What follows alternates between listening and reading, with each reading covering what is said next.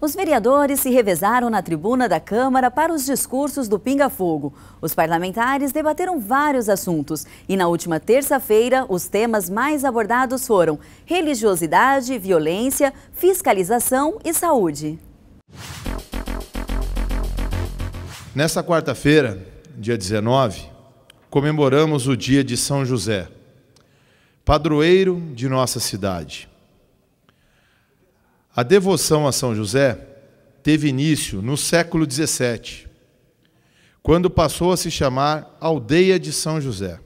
Homens de caráter e honra se espelham no simples carpinteiro que encontrou graça diante dos olhos de Deus.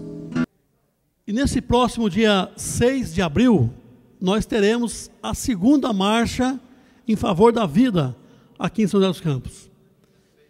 Essa marcha será a segunda, desde ali da Praça Afonso Pena até o Parque da Cidade. Nós temos a alegria de poder contar com vários vereadores dessa casa no apoio desta marcha. Sem dúvida nenhuma, vai ser mais um, um, um, um sucesso, porque lutar pela vida, lutar pela família, vale a pena. Afinal de contas, Jesus é o caminho, a verdade e a vida. Quem luta pela vida está lutando também por Jesus Cristo. Nos últimos dias, nós assistimos sobressaltados algumas cenas de violência em nosso município, estado e país. É, coisas que chamam a atenção e que merecem um debate mais aprofundado por parte dos parlamentos e dos vários segmentos da sociedade.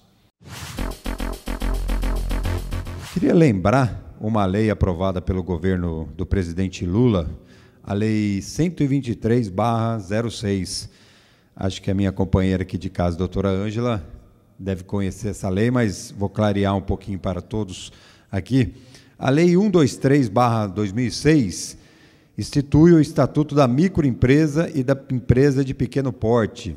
Essa lei complementar estabelece normas gerais relativas ao tratamento diferenciado e favorecido a ser dispensado às microempresas e empresas de pequeno porte no âmbito federal, estadual e municipal, no que se refere ao acesso a crédito e ao mercado, inclusive quanto à preferência nas aquisições de bens e serviços pelos poderes públicos.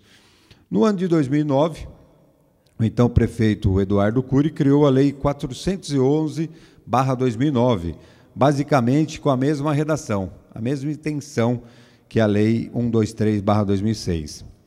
A intenção dessas leis é direcionar as licitações para as micros, microempresas e de pequeno porte da região.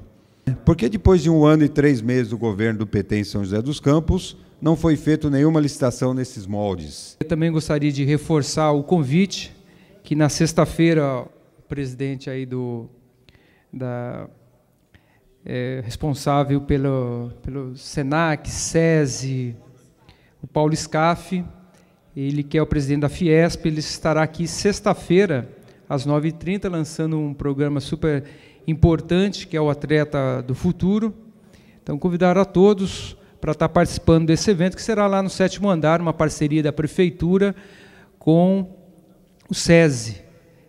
Esse programa Atleta do Futuro, no ano passado, nós trouxemos para a Secretaria de Esportes o conhecimento de que existia esse programa em várias cidades, com várias modalidades, mesmo sem ter SESI, naquela cidade, próprio público do SESI, centro esportivo do SESI, várias cidades, nós tínhamos conhecimento que os atletas participavam de eventos onde a condução, o lanche era subvencionado pelo SESI através de um convênio, chamado, um programa chamado Programa Atleta do Futuro. E trouxemos para a Secretaria de Esportes começamos uma conversação com o SESI e trouxemos para a secretaria para a implantação do judô.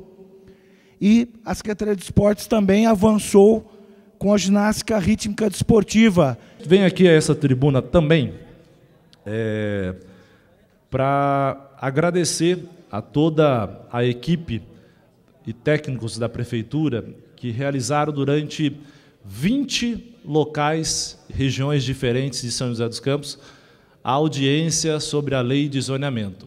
Escutando toda a população, é, ouvindo as reivindicações, de uma maneira muito clara e uma maneira muito objetiva, e chegou a, ter, ser até é, uma maneira muito simples de entendimento, vereador é, Roberto Deleve, que nós tivemos aí é, essas audiências espalhadas por toda a cidade. Ontem se encerrou ali no Urbanova, a qual tive presente, juntamente com o vereador Rogério Cibol, que é o vereador é, que atua naquela região, o vereador Calazans também. Nós, vereadores, distribuímos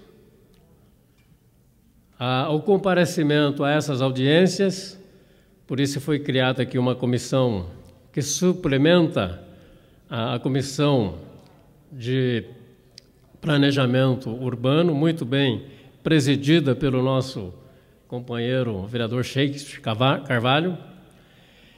E essa comissão tem o objetivo de ajudar a construir esta nova lei de zoneamento. No dia de ontem, é, lá no Santo Inês 2, teve presente lá, Vossa Excelência teve presente também o, o secretário de, de transporte, o, o, Wagner Balieiro, onde que compromisso é, é, do prefeito Carlinho no passado, desse vereador, e de Vossa Excelência também, de vereadores da bancada do PT, está sendo realizado lá a valeta, o valetão lá do Santo Inês 2, e com certeza discutindo qualidade de melhoria, condições de obra para aqueles moradores de lá, que é a questão da ciclovia. Foi discutido com a população e assim será realizado e respeitado a opinião do povo e respeitado também a opinião da população com, com a proposta dos seus projetos. É, primeiro, eu venho como presidente da Comissão de Educação para dizer que nós, da Comissão de Educação, eu, Calazans, o professor Calazans, o Shakespeare, nós estamos, sim, reunindo, estamos fiscalizando, levantando os documentos, os, os, é, as, os dados, documentos, para fazer o relatório e entregar para todos os vereadores e para a população em relação ao kit escolar. Vamos pedir para colocar as fotos que nós fizemos junto com a equipe lá no no Parque Industrial, a UBS do Parque Industrial, que está aí na sua fase já bem adiantada da reforma, apresentando aí os trabalhos que nós temos acompanhado de perto realmente o que está acontecendo na nossa região, na nossa cidade. Então, vocês podem ver, a UBS do Parque Industrial está sendo ampliada. Tá? Sala de espera, recepção, sala de arquivo, sala de vacinas e farmácia. E eu queria relatar dois fatos que aconteceram lá na UPA de Eugênio de Mello. Primeiro foi uma moça com 30 e poucos anos, sofrendo diabetes, foi atendida lá. O médico mandou fazer uma inalação e mandou ela embora para casa. Ela falou que ela não estava bem, mesmo assim mandaram ela embora para casa. Aí ela me ligou na terça-feira de carnaval, nervosa, família nervosa, que ela não estava bem. Eu falei, vai pronto socorro. Porque, infelizmente, todo mundo já sabe que na UBS não interna mais, não faz mais nenhum exame, não faz um raio-x, não faz exame de sangue, faz nada. É, faz um, uma inalação e ela foi para casa. Aí chegou no hospital, na triagem, ela já foi direto para a UTI, entubada, onde está entubada até hoje. Outro caso foi de um rapaz, foi essa semana, foi lá na UBS também, passando mal, é, recolocaram uma sonda nele, uma sonda gástrica, e mandaram para casa. Isso foi na, na quinta-feira à tarde, na sexta-feira de manhã estava morto também em casa.